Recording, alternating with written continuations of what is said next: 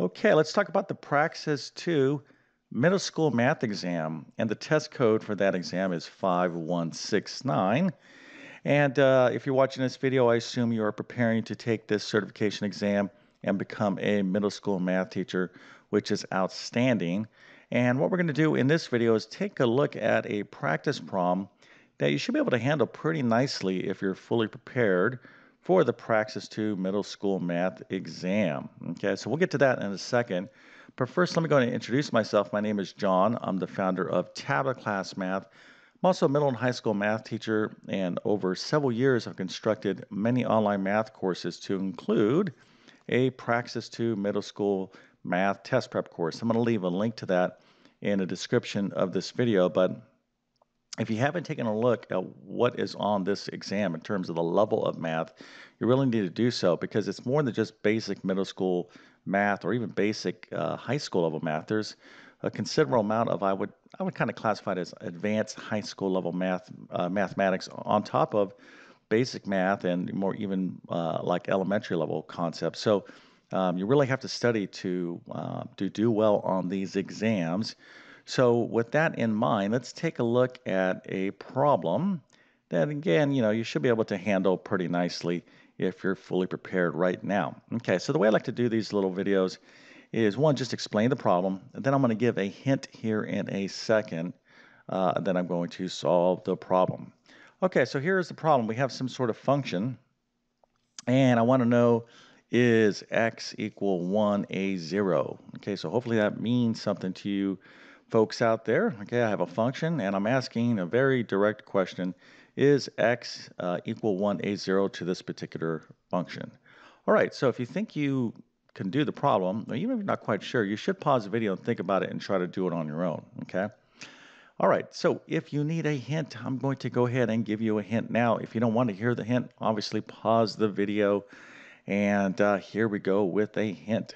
All right, so uh, what does it mean? First of all, we got this uh, word zero. What does that even mean? Well, a zero in mathematics is kind of synonymous with uh, the word root, uh, but basically it means a solution. Okay, so is x equal 1 a solution to this particular function? Now, I like the word zero because it's descriptive, and I kind of put it in, uh, you know, directly you know, into this problem to see if you understood this concept of zero. So here I have a function, right? It's some sort of, if you look at it, what kind of, here's another little question for you. What kind of function are we dealing with, right? How would you describe this? Is it a linear function? Is it a rational function, radical function, logarithmic function? Uh, go on and on and on. No, the answer is what? It's a quadratic function, right? Because we could see we have x squared, x, etc. So a zero we want to think about this is I'm just going to draw a parabola. Okay, and this is y, this is x. So a parabola is the shape that the shape of a quadratic function. Now you can have all kinds of parabolas. They can go like this and go the other way. Some of them may not even cross the x-axis, but if they do cross the x-axis, okay, these are the points right here where y is equal to zero, okay? So these points we would call, well, we would call these zeros, roots, or solutions, real number, real number, okay? Uh, roots or solutions. So I'm kind of going off on a little bit of a tangent, but basically I'm asking you, is x equal 1 a solution to this quadratic equation, quadratic function? So how can you check that, okay? Well, there's two uh, well, there's a couple different ways you could do that. You could solve this guy and just uh, see, hey, is x equal 1 well, one of the solutions? You could do that, but that's not necessary, okay? Um, there's two other direct uh, paths that you should uh, do. The, the first one is just evaluate the function for f equals 1. So now I'm going to get into solving this problem right now, okay? All right, so let's go ahead and plug in f equals 1, and let's see what happens. All right, so we get this. Let's see what occurs when we uh, plug in 1 for the function. And I'm going to get 1 squared, which is obviously 1 times 8. So that's 8 plus 16 minus 24. You can kind of see where this is going, right? I'm going to get 24 minus 24 is equal to 0. So f of 1 is 0. So f of 1 is equal to 0. So f of 1 is a 0. In other words, it's a solution, a real number solution to this function, okay? But there is another um, cool thing that you can do, and you need to know how to do, and that's synthetic division, okay? So when we're talking about solving more advanced polynomial equations, now this is a quadratic equation, but it's also uh, a, um, a, a polynomial equation. And one of the things you need to know is synthetic division. So we found out here that f equals 1 uh, equals 0, indicating that it is in fact a root, a real number uh, solution, and a 0. Okay, so the answer is yes, it is a 0. But let's talk about how we can evaluate a function using synthetic division. Okay, so the way that would look would look like so. Let me draw this a little bit better. And this is not necessary for you to um, have solved this problem, but I'm just kind of bringing back, refreshing your memory on synthetic division if you don't remember. Okay, so synthetic division is where we take the coefficients, as long as this thing is written in standard form, we're going to take the coefficients here. So this is going to be 8, 16, and negative 24. Okay, you write them like so, as long as this is in standard form, and if you're missing something, you'd plug in a zero. I'm really going super fast as far as the overview of synthetic division. Now I'm going to be uh, synthetically dividing this function by 1, okay, which is effectively, okay, doing all of this right here is the same thing as evaluating this function for 1. So we already uh, determined that f of 1 was equal to 0. But here is, again, synthetic division, which is doing the same thing. So the way this works, okay, you first, this first number, okay, this first value, you, you drop down like so, 8. Now you go 1 times 8, whatever this value is, 1 times 8 is 8. You're to put that right there, your answer right there. Next, you're going to add down. All right, so 16 plus 8 is what?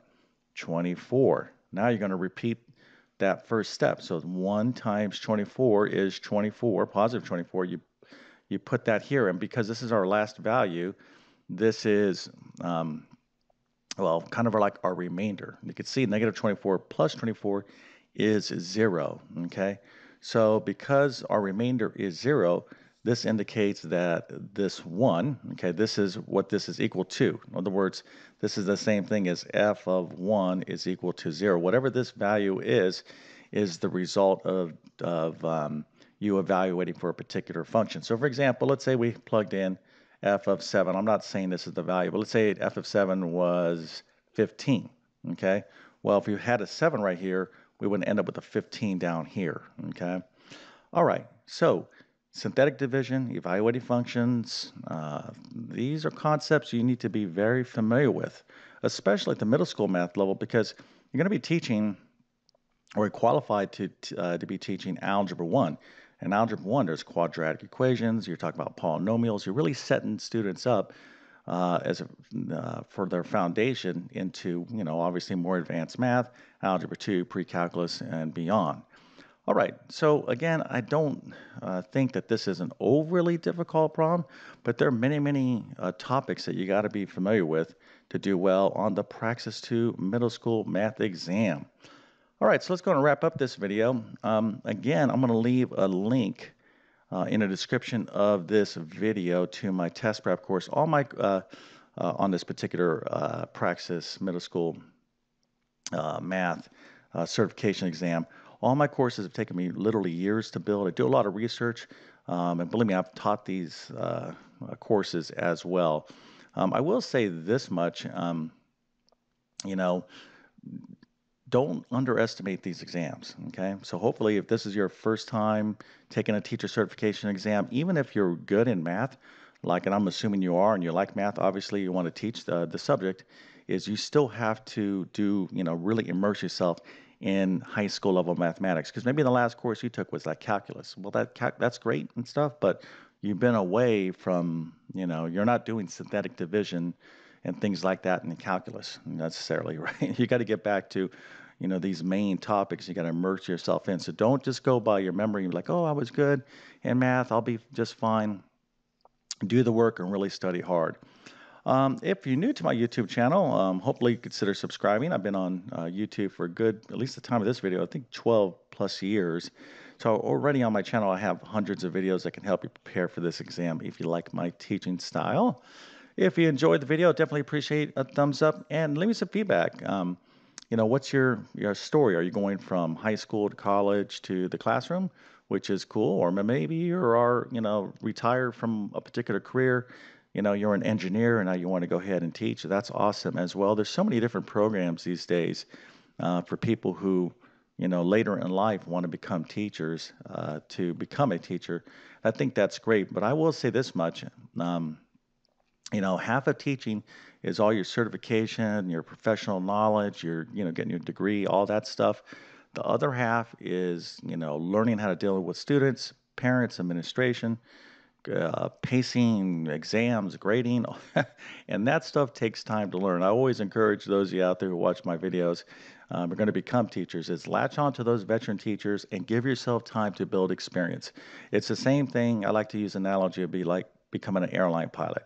You can go to all the best schools to learn how to fly an airplane, etc. But until you've flown that airplane 10,000 hours, you know, you're not going to be an experienced pilot. Okay. Same thing with teaching. It takes time to develop your uh, experience and find your own style. Okay, you do not have to be a copycat of another teacher.